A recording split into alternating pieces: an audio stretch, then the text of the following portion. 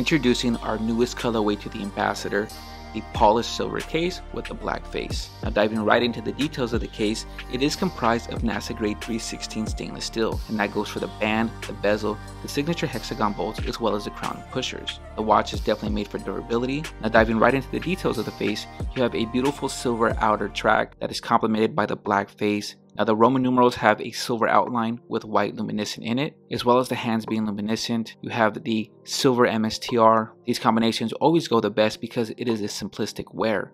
This will go with anything in your outfit and is suitable for just about any occasion. Now the new polished silver ambassador does come with a leather band as well, and the leather band is extremely limited with only 15 being produced with this leather band. Now having the leather band option, it does create a lighter feel for the watch. The newest ambassador is powered by a Seiko VD53 Japanese 6-hand chronograph movement. Like all ambassadors, it is water resistance to 100 meters. So if you guys are looking for a perfect everyday watch, something that's going to go with every outfit and every occasion, our new polished silver with black face is definitely the ambassador for you.